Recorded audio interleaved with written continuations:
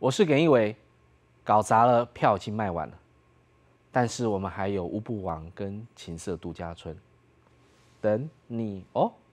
台北艺术节今年首度跨国联合制作，南非偶剧团的乌布王抢先登场。他是八月的时候在台北艺术节跟在爱丁堡艺术节都同时在上演的戏，要去爱丁堡不如留在台湾，对我都这样讲。